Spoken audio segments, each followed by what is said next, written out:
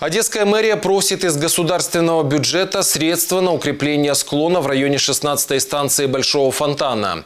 Речь идет о противоаварийных работах у санатория «Одесский», где еще год назад появилась огромная трещина.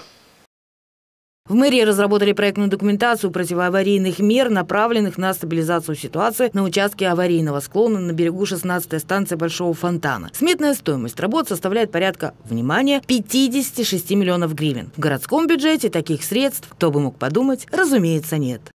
В этой связи для того, чтобы как-то предусмотреть выделение этих средств, поскольку в бюджете города эти средства не предусмотрены и учитывая стоимость этих работ, которые город не может себе позволить сегодня выделить. Управление обратилось в Министерство природы для выделения этих средств как в качестве субвенции управлению из государственного бюджета.